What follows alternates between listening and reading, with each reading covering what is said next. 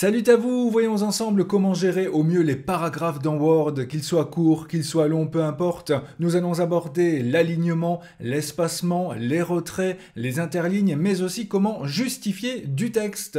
Voici donc notre texte d'exemple séparé en quatre paragraphes comme vous le voyez ici. Nous avons déjà vu ensemble le menu police, abordons ici le menu paragraphe toujours présent dans l'onglet accueil avec quelques boutons de raccourci. Alors les boutons que vous connaissez le mieux, ce sont les boutons d'alignement. Par défaut, le texte est aligné à gauche sur notre feuille en clair. Ici, à gauche du texte, c'est bien droit. Par contre, à droite de notre texte, eh bien, ce n'est pas aligné du tout. Et en effet, on voit que c'est le bouton aligné à gauche qui est activé. Pour modifier cela, je vais sélectionner mon texte et je peux donc le centrer tout d'abord. Donc vous voyez, chaque paragraphe est bien centré ici par rapport au milieu horizontal. On peut aussi l'aligner à droite. Donc en clair, ici c'est droit, par contre à gauche, ce n'est plus droit du tout. Mais nous avons aussi l'option justifier. Alors comme vous pouvez le voir, le texte est aussi bien aligné à gauche qu'à droite. C'est exactement le résultat que nous avons dans les livres, les magazines et autres. Et grand conseil, si vous avez un travail à rédiger, un dossier, et que celui-ci contient beaucoup de texte, pensez à toujours le justifier. Ce sera beaucoup plus agréable pour le lecteur et en plus cela donne un effet un peu plus propre, net, bien préparé.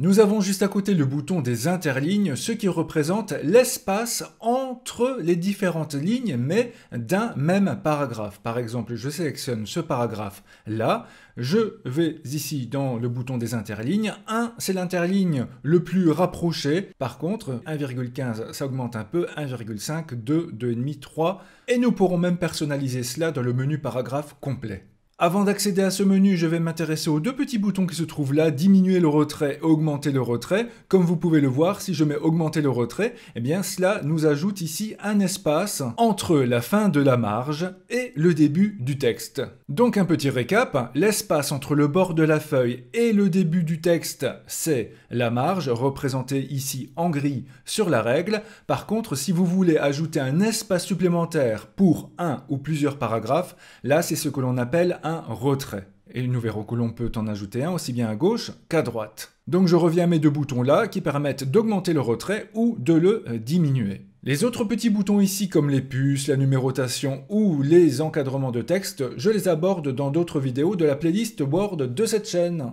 Bref, vous l'avez compris, ces boutons-là ne sont que des raccourcis vers un véritable menu qui se trouve derrière et donc pour accéder à ce menu, soit vous cliquez sur le petit bouton qui se trouve là, ici en bas à droite, ou alors après avoir sélectionné votre texte, vous pouvez cliquer avec le bouton droit dessus et choisir paragraphe. Donc ici, toutes les modifications que je ferai s'appliqueront uniquement à ce que j'ai sélectionné. Dans ce menu complet, nous retrouvons donc le bouton des alignements que nous avons déjà vu avec à gauche, centré à droite et justifié. Et nous retrouvons donc nos retraits. Et vous voyez que vous pouvez ajouter librement un certain nombre de centimètres à gauche, mais aussi à droite. Exemple, j'ajoute 4 cm à gauche et 4 à droite. Voyez le résultat. Eh bien, nous avons un texte bien plus condensé avec un espace identique à gauche et à droite. Ici, j'ai tout sélectionné pour vous montrer le retrait spécial. Qu'est-ce qu'un retrait spécial? Eh bien, c'est un espace supplémentaire, mais qui ne s'appliquera qu'aux premières lignes de chaque paragraphe. Par exemple, dans certains courriers, dans certaines lettres,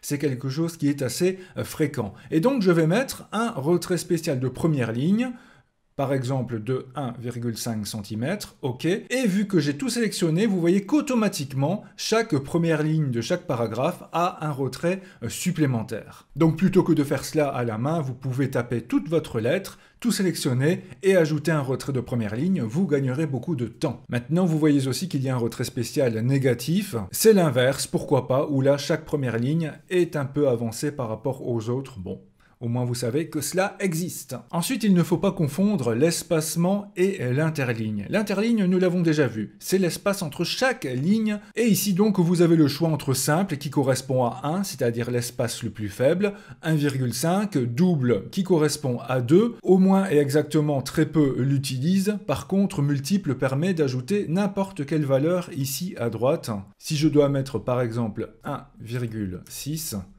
eh bien, cela fonctionne très très bien. Nous voyons donc l'espace un peu plus grand entre chaque ligne de chaque paragraphe. Mais alors, qu'est-ce que l'espacement? Eh bien là, c'est l'espace entre chaque paragraphe, entre chaque bloc. Donc c'est vraiment ici l'espace entre plupart et de plus, entre motive et nous, entre technologie et certains. Et vous pouvez ajouter un espace qui s'appliquera soit avant, c'est-à-dire au-dessus de chaque paragraphe, ou après, en dessous de chaque paragraphe. Pour vous montrer la différence, je vais par exemple sélectionner rien que le deuxième paragraphe.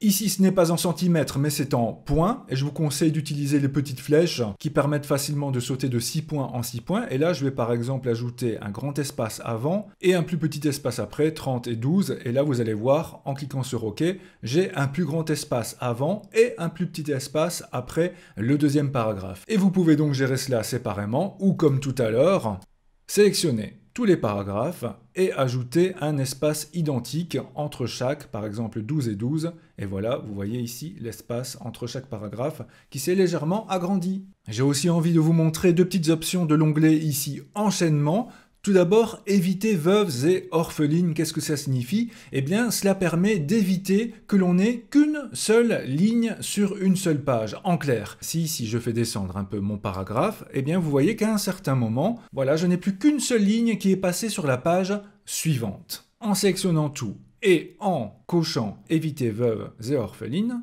ok, eh bien vous voyez que là, il a fait en sorte qu'il y ait au moins deux lignes du paragraphe sur la nouvelle page. Et vous pouvez même aller plus loin en choisissant de cocher dans Enchaînement Ligne solidaire, où là, cela vous permettra de ne jamais avoir un paragraphe découpé sur deux ou plusieurs pages. Les paragraphes resteront toujours entiers, euh, quoi qu'il arrive. Vous voyez que même si je le fais passer à la page suivante et que j'essaye de le décaler, voilà, grâce à ligne solidaire, les quatre lignes de mon paragraphe resteront toujours ensemble. Voilà voilà, avec cette vidéo et celle qui abordait le menu police, vous devrez pouvoir agencer votre texte comme vous le désirez désormais. Si vous appréciez, n'hésitez pas à diffuser cette vidéo. Je vous embrasse et vous dis à très bientôt